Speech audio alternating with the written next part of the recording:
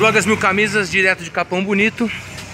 Aqui no atualmente estádio do, do Capão Bonito, vamos dizer assim, mas esse aqui era onde o, o Ipiranga mandou seus jogos nos anos 60, quando disputou aí a, a quarta divisão do futebol paulista profissional.